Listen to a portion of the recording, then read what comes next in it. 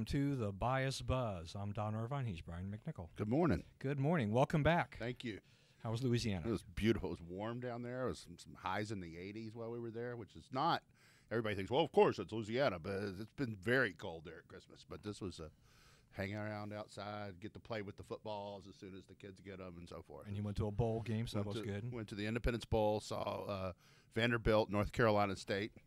Um, a lot of Vanderbilt people there. Hmm, Not quite as many North Carolina State, but it was a good time. It was good. And uh, your your LSU team uh, had a good game. We had a good game. We shut down the Heisman Trophy winner, won twenty nine to nine. Um, a lot of hope going into next year. We got our coaching staff, our two coordinators. We're all fired up. No, that's good. All right.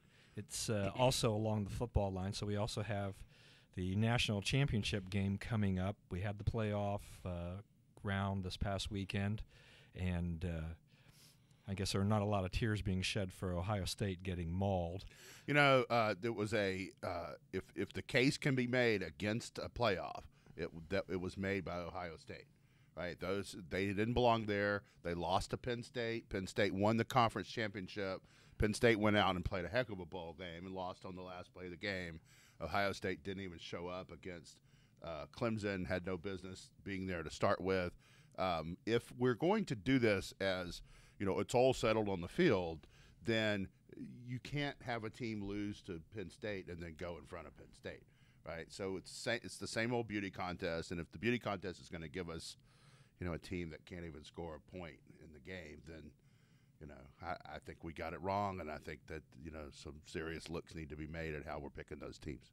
All right, one more thing on this playoff. Uh, so Lane Kiffin is now out. What do you think about the effect of this for the game? Um, I, I think Sarkisian's been at it all year. It won't be a big effect. I think uh, they got tired of putting up with each other. You could, they clearly were not liking each other. I saw a thing on ESPN at the end. You can see the highlights of them like talking to each other, and the, all the clips was like uh, Clint, uh, Saban's like. You know, you can't see what he's saying, but you know he's angry. You know, Yeah, I'm glad they don't. They're not mic'd. Right. Right, that's right.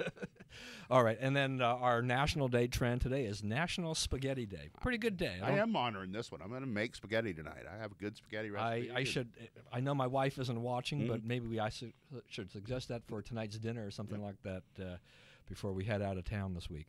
All right, so now let's go to some of the, the news of the day. So the big news story is actually about the news, and it's about Megyn Kelly. So Megyn Kelly has now officially bolted Fox News. She's going to be working for NBC News. This is a big deal. I mean, there are stories everywhere about this. It's not necessarily a big surprise because there had been speculation for months, we knowing that her contract was up this year, uh, that she might leave. She was looking for not necessarily more money, but a higher profile platform and some other things along the way. Uh, you know, Fox News, you know, definitely threw a lot of money at her. Was she was making like fifteen million dollars a year now? They were offering her twenty. Reports said that you know she even asked them for twenty five. But I don't think it was really about the money. It seemed that it was really about her family time and getting a chance to do other things that weren't going to be necessarily in the evening all the time. Right, and and um, she's very capable person. Um, is a very good reporter. She has a relationship with uh, the president elect, unlike any other reporter. And, and you know, the first thing, oh, it's negative. They fought. You know, he had a respect for her that he did not have for the media. Right. So um, I, I think that the uh, NBC did a good job. I think. Uh, I think it's a good get for them. She'll be the most conservative person on a legacy over-the-air network since Sharyl Attkisson left CBS. Um, you know, uh, I think when you have like you'll she'll be on these panels and Joy Reid and other regular suspects will be on these things, and they're used to saying abjectly, provably incorrect things, and no one challenges on them because it makes the other side look bad. And you'll have someone there who actually you know, knows how to make the argument against it. Um, you know, it's not her job to argue for the conservative movement one way or the other, but I think that you will see less complete nonsense go unchallenged on those on that station. Yeah, and I mean, she does actually, you know, get any appearances on, on MSNBC, which is likely because of the way they use the, the news side of that of the network. Uh, I, I'll I'll be fascinated to watch her get onto Chris Matthews or Rachel Yeah. Maddow. Will they, you know, she's going to be part of the paid staff. You invite her on there. There could be some really epic uh, conversations and battles going on there because she is a very sharp person. Now, you know, taking a little bit of the other side of this too, though, this is, I think, there is some risk for for Megyn on this. She's been with Fox for 12 years, uh, even though you know she is smart and I think she's a great interviewer and, and things like this that network allowed her to make her star, and, and her stardom rose. You know, you take a program and you put it into the nine o'clock slot right after Bill O'Reilly, you're going to be guaranteed a pretty big audience lead, and now you have to hold it. You know, you, you Right. it's still up to you to hold it and, and to be able to do things. And, and she had the second most watched news program in cable news. Uh, you know, so she she leaves really kind of at the peak, you know, valuation for her. So that's that's probably a good strategic move. But you know, her role at, at MSBC is going to be she'll do some of the political commentary, the breaking news, political commentary, things like that. That's definitely right within her, you know, her her frame here, the things that she does, her strengths. On the other hand, developing a daytime show for her that I see is a little bit tricky. And the Sunday evening news show could be interesting because you know it, it seems that you know, they're going to try to make it 60 minutes like and maybe run it up against 60 minutes. Uh, That's a tough franchise. those, tho- to that, that's against. tough. I mean, the daytime television thing is thing is is this that you know Anderson Cooper tried to get a daytime TV talk show. He flopped. Uh, you know, Katie Couric is maybe the biggest flop in terms of going on to other things. She had a great gig at the Today Show, left it to anchor CBS Evening News. That was horrible. After her contract was up there, she went and she did a talk show for basically Disney ABC, and that lasted two seasons you know, she's running around here doing stuff for Yahoo News.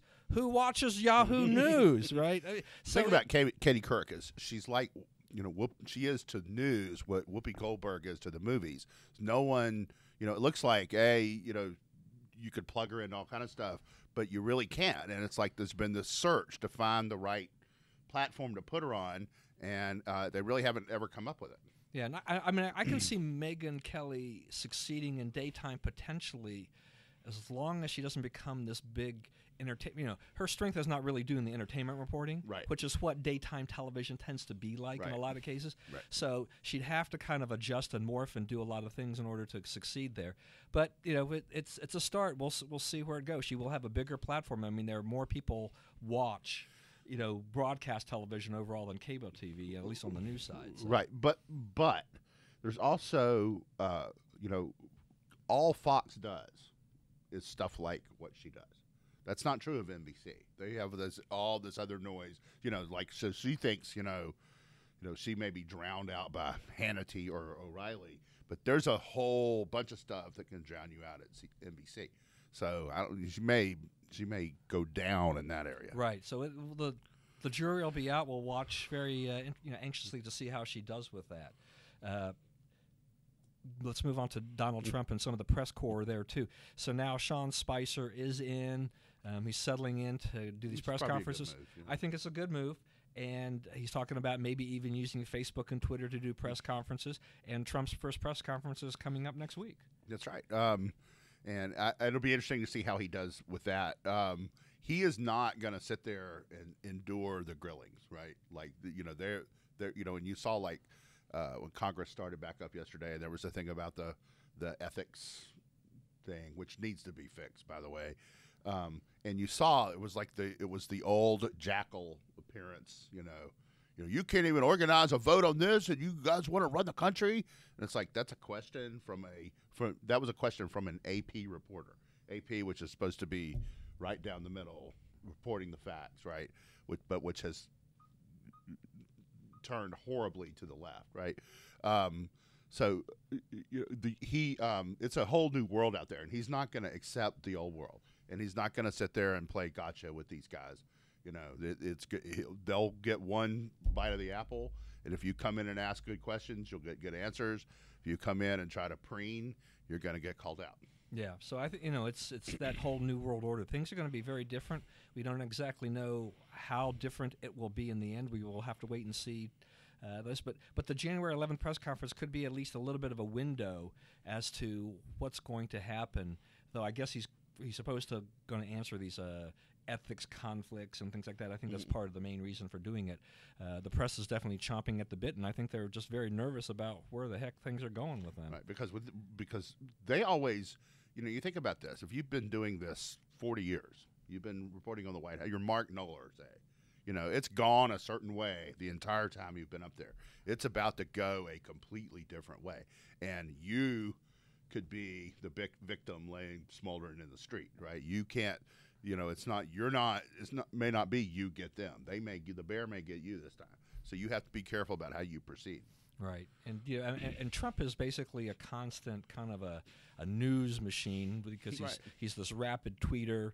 You know, we I don't know that he'll actually reduce all that that much. I don't mean, think he will. and I don't know that he needs to. I mean, I think he's shown, for better or for worse, that overall it probably has a, a, a positive effect uh, for him. I mean, people do follow him and they do react to him, and uh, he gets to say what he wants to say when he wants to say it. And, and okay, do you know what Obama was thinking about yesterday? Right. You do know what Trump was thinking about because he tweeted. He That's told you. So I don't necessarily need the New York Times anymore. Right. That's right. Right. He's told me what you know. What's the president working on today? Uh, ethics thing was stupid. You know. Yeah. Sad. Yeah. you know, or whatever he says. Um, but he, but you know w- what we want to know is what is he doing? What is he doing with the vote we gave him? What is he doing with that power? With Obama, it's like you know uh, we'll come out every three weeks and send you a press release. This guy, he's telling you every day. This is what I did today. This is what made me mad today. This is what I thought was great today. You know, uh, I have the information I need. Yeah, this is almost like having a camera on him all the time without it being there and being Yeah. turned on. It's just that he's using Twitter as a way to get that message out, whatever his feelings are, whatever the time of day is, Unfiltered. Yeah, totally you know, unfiltered, which is- which- carrying a bunch of which is the way it should be. questions. Which is Yeah. the way it should be. yeah. Okay, now so Congress is now back in session, and it looks like they're going to tackle Obamacare. And you know, what what's your take on where we're going with this? Well, they Senator Enzi put it into a budget resolution, which means they can they get one chance to do it with 51 votes. They can take off whatever they want to take off from Obamacare with 51 votes. The sticking points are the leaving people on there till they're 26, which costs some money, but I I I, I get that under the you know that's one of those things. You know, it used to be 18. The world's kind of changed. Okay, we want to do that as a make that decision as a country. You know, you can sort. It's not good, but you could live with it. But the other one is pre-existing conditions, um, politically stickier because people don't really understand the issue. But it's not insurance if you can get on with pre-existing conditions. Okay, it's I'm going to pay you a little so that you can pay a lot for my medical bills. That's not the game. That's not what we're doing. And they have to fix that. They have to address it. And I think everyone realizes that the money pit cannot stop until that's fixed. But what do you do? And you're going to have to eat a little, you know, there's going to be a political beating for that. Yeah, and that that's that's a good point about the pre-existing conditions because you know that that's a that's a hallmark, a big deal that Obama, you know, they wanted to make sure the Democrats want to make sure was in there. But you know, if you're if you're the insurance company, it is an insurance because you cannot assess the risk for what you're going to do. How do you set rates when you don't really know what people's health really is? When you have to take them no matter what, which means is that yeah, you may be paying, and and we saw this. I mean, we've seen this already. Is that the reason that these guys have been dropping out of exchanges and and they've been raising the rates is because these sick people are in here and it, the costs have just driven way out of line. And so it, it's not it's not really the true risk pool for the insurance companies anymore. They just it's kind of like it's unlimited and they've Right. got to figure out how to price it. And, and so they're they're trying to catch up and price it. But it, it is this never-ending game. Unless unless Congress fixes that and says we you know we need a better solution. But you know politically, yeah, people don't understand. Think, oh, why can't I be covered? You know, if I'm got an illness, what's the That- big deal? That's so unfair. But it's not, you know, the, the insurance only works if some of the people don't get sick or don't wreck their car or whatever you're insuring. Right. It's some of it. It's got to work out for some people, right? Like I go to the doctor, you know, knock on wood, every like two or three years, whether I need to or not. But that's it, right? Um, uh, but but there are people. You, if you t- if you have me, you have a lot of me's, then you can have a few people who are who are very sick and using it all the time. But if you don't have, if you're, you know, you don't have MEs, and what that happens is the MEs have said, uh, you know, it's cheaper to pay the penalty, right? So they just pay the penalty. So they're out of the pool. The health, it's not just that the all the sick people are in the pool, but all the healthy people are out of the pool. You know? Right, right. And the younger people don't really see a need to be in the pool, and there really Right. isn't a lot of reason for them. I mean, I have told younger employees over the years is that in general you can you should find cheaper alternatives to the health plans that we offer because you know when you're in an HMO, you're helping to pay for everybody else. uh, You know, on that whole thing, but you can probably go direct get a policy that's cheap on your own, take care of your basics because you're going to be younger, you're healthier. Uh, that's a low risk for the insurance companies. They're betting that you're not going to need their services. Therefore, you know, it's not good for an insurance company if if they're paying out 105% of their claim money to take care of everything there. You know, they're good if they're paying out 95% because then they're going to make money. Right. So, and they need to be able to do that. And if they can't make money and they go out of business, then who's going to provide the insurance? who's going to provide the health care? So yes, it's this and it's this cycle that people have to understand how this works, and they really don't. Uh, all right, so let's let's move on. The other thing that's become news too is that Sean Hannity's had these uh, exclusive interviews with Julian Assange, and of course this just riles you know the liberals and the Democrats because you know the leaks, the Russians. Uh, this is their number one target for uh, once again why they lost the election. Right, right, and it was because they told us the truth. That's right. we really found out about you, and we're like, uh, no. Um, but but you know, uh, they keep saying the um, Obama administration says it's hundred percent sure the Russians hacked it, right? Uh, the uh, Assange says he's a thousand percent sure that they didn't. That's right. So he's ten times more sure than they are. But but that was someone else's joke. I, I don't remember who, but I, I don't want to take credit for. It. But uh, but it does point out the thing. If the guy who received the information is telling you that's not where it came from, then why is that not weighed in? I, don't understand what his incentive to lie is. Right at this point, you know, what does he care? And you know, if, but if if he's telling you unshakably that that's not where the information came from, why do we, you know, why do we keep on that point, right? Right. I mean, and he also was talking about the uh, the Podesta email. And he said a 14 year old could have hacked that. I mean, Right. the guy apparently was using password as his password. Yeah. Is like, hello, that is so secure, guys. I was like, you know, and he, and he fell for the phishing scam. So, you know, once again, and, I, and, and how often do we have to agree or get to agree with Julian Assange? But he basically saying that, you know, the Obama, you know, the Democrats, they are just they won't take blame, you know, for th- for this. They just won't accept the blame for the loss, and that this was why Clinton lost, why what's happening. It's because of them. It's not because of the Russians. It's not because of Julian Assange. They didn't It's- fix any votes. None No, of the it- votes are tied up to internet, so you Yeah. couldn't like go on your computer and mess with anybody's vote. Okay, what, but what they did was they showed a, showed them to be vapid, unresponsive people with you know with uh, bigoted views against Catholics, against people of color, against uh, Hispanics. You know that they were they were at least as bigoted as the people they were accusing of being bigoted. Oh, I like that vapid. That's uh, that's good. That'll be the word of the day, as Bill O'Reilly uh, would say. All right, Valerie Jarrett uh, went out and said that there have been no scandals under Obama. I think this was news to a lot of other people. You know, um, uh, there were there were two scandals that I- I think uh, rival any in the history of the republic, and they didn't get. Um, the one of them was uh, Ch- Operation Choke Point, where you're going to you're cutting off banking services for businesses, legal businesses you don't like. You're trying to run out payday lenders, gun sellers, uh, bullet makers. That was a big focus of the Obama administration is anybody who made ammunition, uh, and you just said went to their bank and said, if you give them banking services that allow them to do business, we'll lean on you. That's thuggery. That is outright thuggery, and it should not be. And the people responsible should be in prison for that. The other one is the IRS scandal. Again, you're using the regulatory power of government to suppress political views you don't agree with. I mean, that's as bad as it gets. Those are the worst things you can do as a government official. It's like, you know, Bill Clinton, uh, you, know, had an intern in the Oval Office, blah blah blah. Bad, but you know, in the big picture, doesn't hurt the country, right? Just, except from this, you know, slowing progress and so forth. Um, but this is a direct abuse of power, turn using the power of government against its citizens. Right, and I and I think part of the problem I have with what Jarrett's saying, I understand if if we're talking about something that was personal to Obama. I mean that he his he moral turpitude or something like that. I understand that kind of thing, but take responsibility take some accountability for what happened under your watch.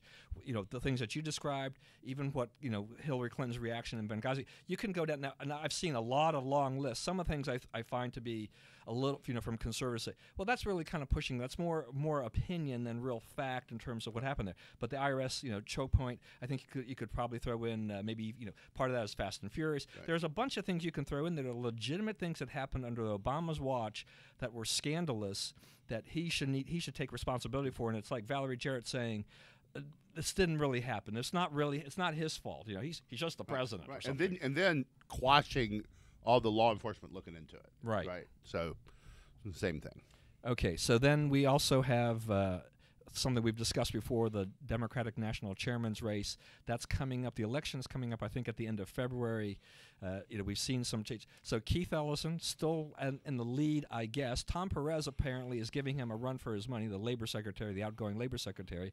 And then there are a bunch of others, uh, like from South Carolina, the state party chair, and I think New Hampshire. So the few others that are potentially in the mix.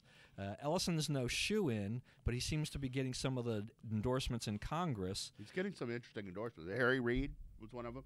Uh, uh, he's getting like what, what, what you would call the mainstream, you know, the establishment Democrats, right? Uh, Perez is getting, in, which may be a more volatile, more difficult to contain insurgency. Perez, who's a Montgomery County guy, um, uh, is getting labor union support. He is big lined up the labor unions. Right. So it'll be a long time till it's over. The numbers are big on both sides.